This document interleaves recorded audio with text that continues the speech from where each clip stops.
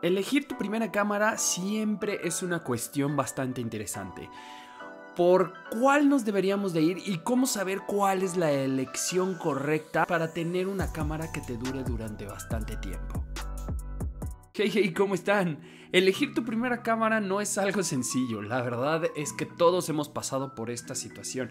Y sobre todo de que ahora en el mercado hay cada vez más y más cámaras. Y además de que salen todo el tiempo. De hecho Canon acaba de liberar tres modelos nuevos, Sony apenas liberó la nueva versión de la ZB, todas las marcas tratan de estar mejorando sus equipos y sacando la mejor tecnología. Y obviamente hasta haciéndolas más compactas con una muy buena resolución. Y esto hace hace cada vez más complicada nuestra decisión en qué equipo vamos a comprar. Pero te voy a dar unos puntos a considerar que podrían ayudarte a hacer más sencilla esta elección. Sobre todo si apenas vas a estar iniciando y va a ser tu primera cámara. La realidad es que comprar una cámara no es algo barato y siempre es una inversión.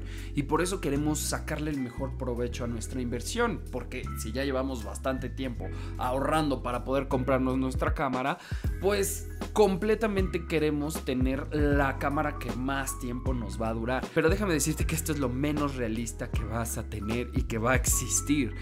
Siempre vas a querer más y más y más. Una realidad es que cuando tú compras tu primera cámara, crees que es todo para ti y que es la mejor y que la vas a utilizar durante muchos años. Y la realidad es que entre mejor te vas volviendo y más profesional y vas creciendo en tu conocimiento, te empiezas a dar cuenta que tu cámara pues empieza a quedar corta en algunos puntos o que necesitas otras opciones o que estás buscando porque también tu carrera se va encaminando hacia un perfil en específico. Hoy en día las cámaras tienen muchas habilidades y que tampoco te estés preocupando luego luego por cambiarla. El primer punto que tienes que tener en cuenta es que tiene que ser una cámara con lentes intercambiables. Eso indiscutiblemente. Tecnología que está en dentro de una cámara es una cosa, pero también lo que es la óptica es totalmente otra parte de la herramienta. Por eso, lo primero que tienes que considerar es que sea una cámara que tenga lentes intercambiables. No importa qué marca sea pero que tenga los lentes intercambiables. Te va a permitir que tú puedas tener texturas de diferentes formas, lentes de larga distancia, de corta distancia, angulares, macros. Vas a poder tener una infinidad de elecciones para poder ser muchísimo más creativo a lo largo de estar ejecutando tu trabajo. Vas a estar enfocado más hacia la fotografía o hacia el video. Este es yo creo que la duda más grande y la mayoría iniciamos con el hecho de, ah, voy a hacer fotos y queremos hacer fotos.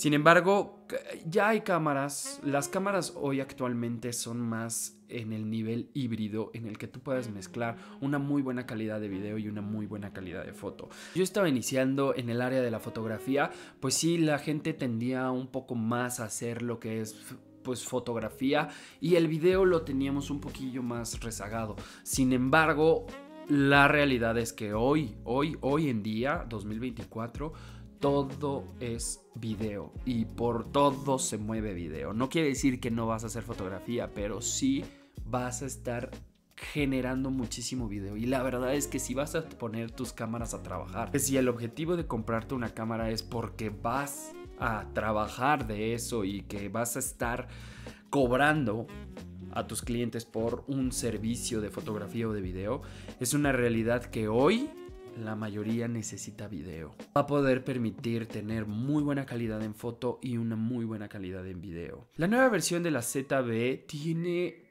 un sensor que está ya en una de las cámaras de una línea bastante alta, una gama de cine que es la FX30 y es el mismo sensor que tienes. Es un sensor APS-C de 26 megapíxeles, lo cual te va a permitir ser una muy buena calidad en fotografía y a la vez también en video. ¿Qué es lo que hoy ya está teniendo más fuerza en el video? La realidad es que yo uno de los puntos que observo perfectamente y que tiene que cumplir es que grabe en log 4K y que me permita hacer mínimo 60 cuadros. Eso es indiscutiblemente lo que yo siempre estoy buscando en video.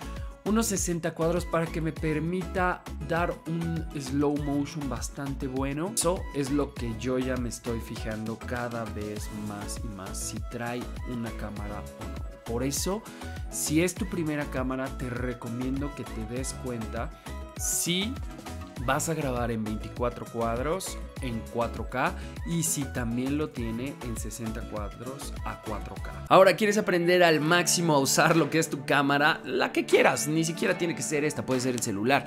Entra a mi página web y encontrarás el manual del creador, en el cual me dediqué a crear 11 capítulos para explicar perfectamente ciertas técnicas y habilidades más profundamente para sacar el mayor provecho de cualquier cámara, no necesariamente tiene que ser esta, te va a servir para la que tengas. Una herramienta que te va a durar durante mucho tiempo para que la ofrezcas así a tus clientes. Sí, es real que vas a requerir una inversión un poquito mayor porque cuando ya hablamos de estas especificaciones en una cámara, indiscutiblemente no va a ser una cámara pues barata, pero por lo menos sí, déjame decirte que la nueva, la, ZB, pues tiene, es una cámara bastante accesible y que pues tiene una muy buena resolución y una muy buena calidad y su precio no es tan alto. Y otra de las cuestiones o de los puntos que yo consideraría totalmente mm, indispensables para poder tú sacarle el mayor provecho a tu cámara, te graba en 8 bits de color o 10 bits de color. La realidad es que yo buscaría una que ya grabe en 10 bits de color. Al inicio no lo vas a notar, pero entre mejor te vas volviendo y vas editando, editando, editando, editando el material de tu cámara de 8 bits, te empiezas a percatar, sobre todo cuando haces la corrección de color, que te queda corta y que necesitas los 10 bits de color. Comparas una cámara de 10 bits de color con una cámara de 8 bits de color y si los, esos 10 bits si son necesarios ya cuando vas cambiando y mejorando. Por eso, si esto lo consideraría cuando ya nos vamos a dedicar de lleno y que va a ser nuestro trabajo, que vamos a buscar una cámara que me dure mucho tiempo, pues trataría de esforzar un poco más mi presupuesto y que lo lleve a un poco más y que busque esos 10 bits de color a diferencia de los 8 bits. Claro, si no te da para los 10 bits de color, no pasa nada. Los 8 bits son muy buenos, pero sí consideraría el hecho de que estemos pues buscando una cámara que por lo menos me va a durar varios años y que se va a pagar sola por los clientes.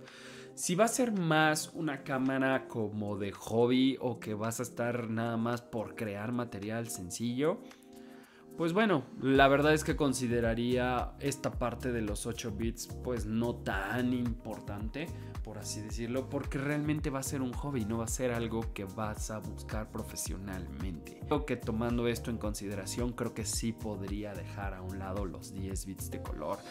No vale tanto la inversión y mejor lo gastaría en un lente, ¿verdad? Yo pues tener mayor versatilidad en cuanto a mis tomas y ser un poco más creativo.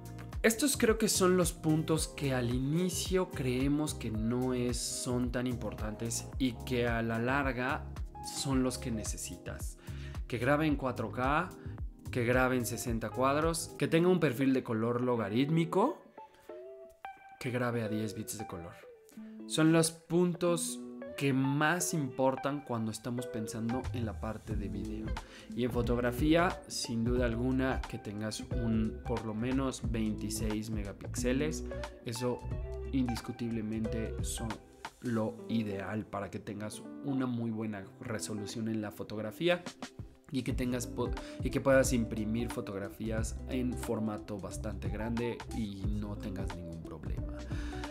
Estos son los puntos que yo te recomiendo que consideres al momento de, comprar tu primera cámara. Cámara híbrida completamente para que te dé y que te dure, para que puedas trabajar de ella muchos años y con las actualizaciones de todas las marcas, pues no estés considerando el cambiar tu cámara todo el tiempo.